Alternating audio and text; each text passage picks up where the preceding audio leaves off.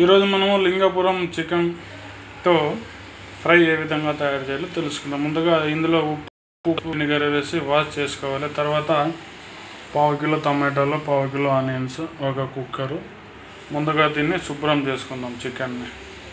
ఈ విధంగా కలిపి పది నిమిషాలు ఉంచుకోవాలన్నమాట. ఇది ఉప్పు పసుపు వెనిగర్ వేసి విధంగా కుడి చేత్తో బాగా శుభ్రంగా నానబెట్టాలి కలిపి పది నిమిషాలు. ఈ విధంగా శుభ్రంగా ఈ చికెన్ని ఈ కుక్కర్లో వేయాలన్నమాట. ముందుగా లెగ్ పీస్ వేస్తాము. తర్వాత చిన్న చిన్న పీసులు. ఇప్పుడు రాళ్ళ ఉప్పు చికెన్కి సరిపడా.